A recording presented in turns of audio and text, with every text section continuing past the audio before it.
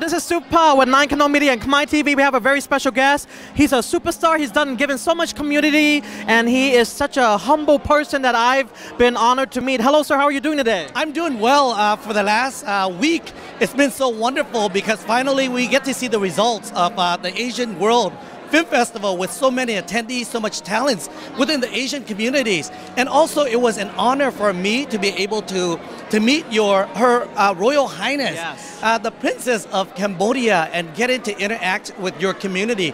It was such a great pleasure.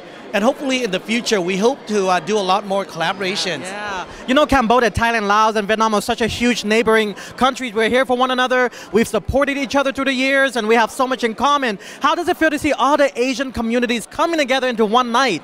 Wow, that is the the best word to describe this is W O W. Wow, wow, amazing because finally you get to see all the Asian communities coming together for unity. And honestly, only with unity will all our communities be stronger. Right. I actually learned uh, from my parents uh, a proverb in uh, Vietnam saying that one tree alone cannot do much, but three trees together will actually build a mountain. So hopefully, with all the communities coming together this time, due to uh, you know eh, to express uh, our talents, to uh, collaborate within the film industry. Hopefully, we find uh, you know the right uh, niche, so that way in the future we can do more collaborations together. That is amazing. You know, Nine Khanong Media will put you at Vietnamese night in uh, Beverly Hills. How was it running that event?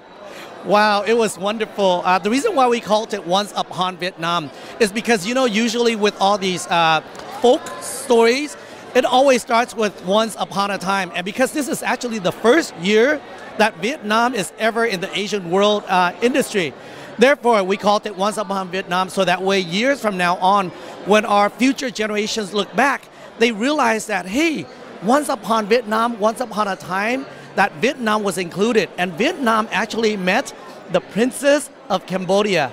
And hopefully, through all these stories that we're going to be showing, we're going to be like um, collaborating.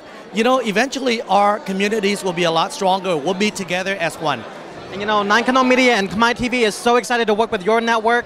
We're so excited to be future collaborations with music and art and interviews. I'm just so excited to have you here on the red carpet. I can't wait to see you in there. And thank you. And please, before we let you go, what are you wearing? I'm actually wearing a, Vietnamese traditional dress, and this is actually made by Lamai Couture.